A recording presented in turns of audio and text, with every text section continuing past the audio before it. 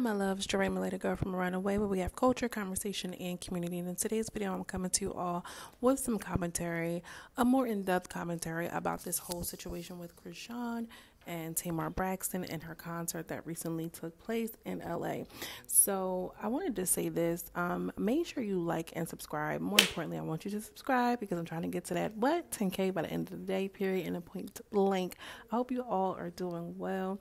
It's lovely Tuesday. Okay, Tuesday. We're here to play. We're here to stay. So let's just hop into it quickly. Tamar decided to hop on live on in um I don't even think it was a live actually. She just posted and she talks about the trauma that she's been through since this assault. Now, we've seen James um, at the dentist. He said he didn't want to show his face, but he had to kind of get some dental work done after this assault. And um, we all know that Chrisean is a heavy hitter. Like, be so for real. We, we've seen her on the stage. We know that she probably had the henny. Okay, the henny, this henny got me, you know what I mean? And I don't think that we are at all surprised at how um, intense this situation was backstage. Now, let's get into the commentary with Tamar. She goes on to say, actually, let me just play the video here. So I'm not going to get into all of it because I mean, like, I feel like I feel like Tamar is being sincere when she says that I wanted her to be you know, like under my wing. Like, you know, the tour is about second chances and, you know, I wanted to give her a chance to redeem herself and kind of really show her to, to her audience. Like, let's be clear. The people who are showing up to a Tamar Braxton's show are not the same demographic that's showing up to a Chrisean Rock show. I mean, let's just call a thing a thing. But I think it was nice to kind of extend um, her the opportunity to, uh, you know, be at her concert. Now, I, I, find it interesting that she said that she didn't have an opening, you know, and she didn't want Chrisean to be the opening. I don't know if it's because it was going to be some funds involved. It's giving me very much like I didn't want to pay you. I just wanted you to come and do a quick walkthrough, which some people are okay with that and some people are not. Um, if I was invited onto a platform, let's just say of a podcaster who was very, very big, and I just did a walkthrough, I was just showing up, I will be okay with that. Um, Chrisean is a star in her own right. I don't know how comfortable she felt about her song being played and um, not being able to perform it. Now, whether that was communicated or not, whether the henny had her a little cloudy, a little rowdy, and she felt like she was being attacked um, or played, or you know how these bitch you you trying to play me, you trying to play me. You know how these kids show up when they have this these unhealed traumas.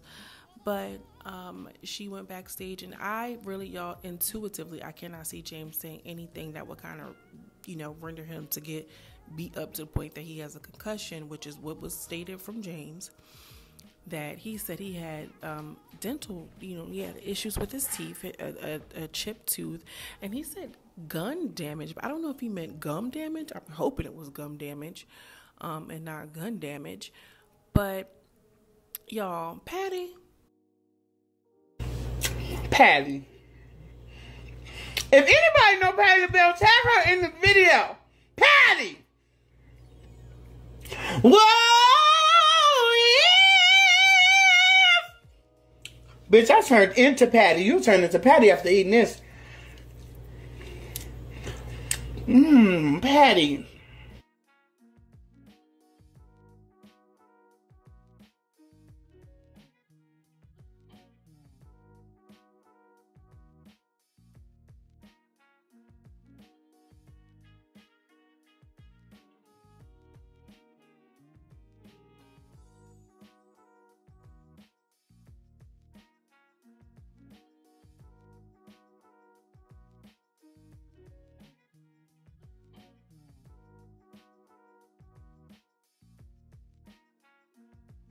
Patty, Patty, I, I just cannot see this very big and statued man, um, one attacking this girl, becoming, you know, impeding on her personal space. But if she was out of her mind, um, who knows what really happened. A telltale sign is that this is the first time we've seen Chrisean deactivate her Instagram, her social media. Any other time she would be outside, she would be popping it, she will still be posting, she'll be dragging it, she'll come, you know, child, she'll pull up on Jason Lee and just say how she felt or whatever the case. We have not seen her do that at all. The only person that came forth was Tommie, which, y'all, we got to get into this whole Tommie situation in one second, okay? One second. Let's pause it for now. But the fact that she deleted her Instagram is giving to me she was advised by a lawyer, by legal representation, like, Chrisean, you cannot mess this up. I need you to get off of social media and do not say or do anything else that's incriminating. That's what it says to me. Now everybody has all of these theories and oh they you know she was trying to they was trying to get a reaction out of her and let's you know do all of these things. That's because those are the type of people she had around her. I don't feel like Tamar needs um, that type of reaction and attention from a, a young girl who doesn't even have the same demographic. You know? Like, I mean, sure, you can be a Chrisean fan and a Tamar fan. Sure, surely. And for sure, you might like Chrisean's one song and Tamar Braxton's albums, sure. But clearly, y'all, that, that that's not a thing. And I, I, I don't understand why so many people are so caught up on this whole, oh, they were trying to, you know, use her for clout and this, that, and the third. Like, she had Toni V. Braxton. Toni Braxton. Okay? They have been in the industry for years at this point.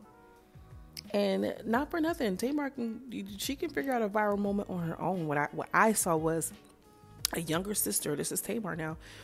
She's the baby of her family. Chrisean's the baby of her family. I feel like Tamar probably saw a lot of herself in Chrisean. They're both from Baltimore. They both got, you know, famous and, you know, got this money or, you know, whatever the case, or from a sister standpoint, from a woman's standpoint, from a mother's standpoint. She could have just been like, girl, pop out. Like, you're fun, you're a vibe. Like, yeah, you know, like that's cute, that's cool. I did not get that she was trying to do anything ill intent. What I think was she was out of control. She was out of her out of her mind and in her body by way of that Hennessy.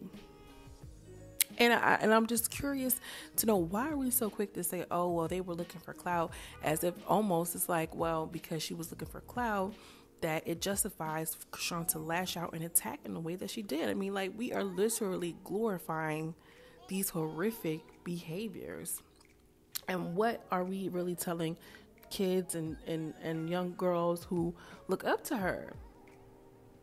It's unhealthy for her, her child, and everybody else involved. Now, now Tommie enters herself into the drama and is saying something like, "Oh, I wonder if her concert would have went viral if um, Chrisean wasn't there." Which I don't know if she just has a thing for Tamar or if she was just trying to take up for her baddie sister. But Tommie, not enough, not right now. And y'all, let's just get into this tea really quickly.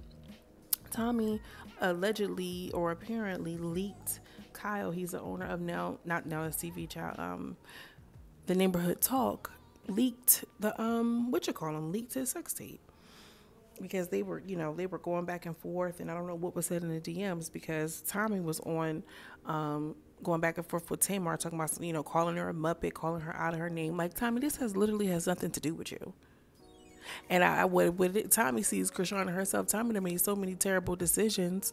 she like, girl, I don't want this girl to go to jail. Like she feel like y'all the ops. No, she's out of control of herself. And you go into this space with Toni Braxton, Unbreak My Heart. That's like our Celine Dion.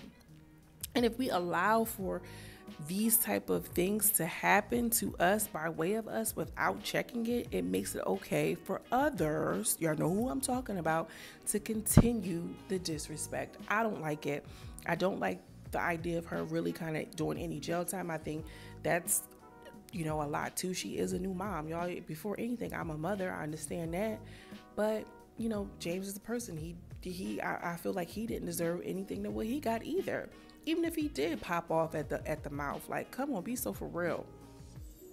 And this culture, this baddie culture, this, you know, I'm just gonna do what I want. I'm, I, I, I, like has our minds warped about healthy relationships, healthy environments, boundaries, self-control, the basic things that makes up a person of integrity and high moral regard. I want to know what y'all think about this because y'all know I get into these moments, child. Y'all know get up on this soapbox, but I really just feel like it's the whole situation is unfortunate. And Tamar speaks out. Everybody's jumping on her because th- this is another thing. Desirability politics has a lot to play in. And Tamar has done a lot of things in the past that's very gimmicky. I don't think this is one of them. So a lot of people are quick to jump on Tamar, but we really need to be focusing on the fact that this girl attacked this man and he needs dental work and has a concussion. Come on, y'all. At a at a Tamar Braxton show. Come on, y'all. This is this is real life. She's thinking Zeus Network is, becoming real life now. Drop in the comments. Are y'all like I don't care, Team Pastrami riding, or y'all feeling like there needs to be justice for James? Let's leave Tamar out because I know a lot of people feel or touch and go about her. I want to know what you think about the situation. Drop it in the comments. Let's discuss. This. Child, let me let this motorcycle go right on past, girl. Cause ugh. Y'all know how I go. I hope you're having a good day. Um, anyways, as always, I'm sending you much love and much light, and I will see you in the next video. Peace.